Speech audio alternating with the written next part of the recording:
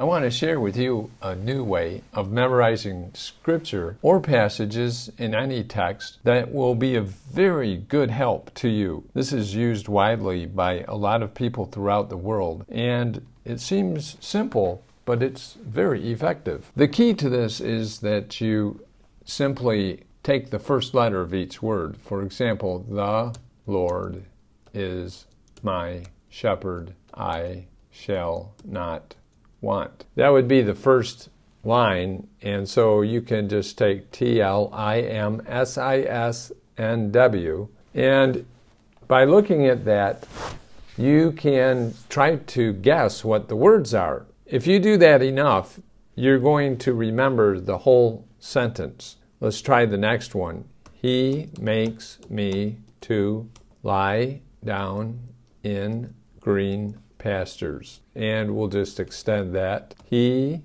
leads me beside the still waters. Now, if you practice this a little, you're going to easily find out that your mind is going to attach itself to these and make the words come out. He makes me to lie down in green pastures. He leads me beside the still waters. Why don't you try that?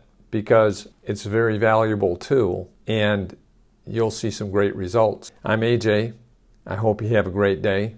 Thanks for joining me. I'm looking forward to seeing you in the next video.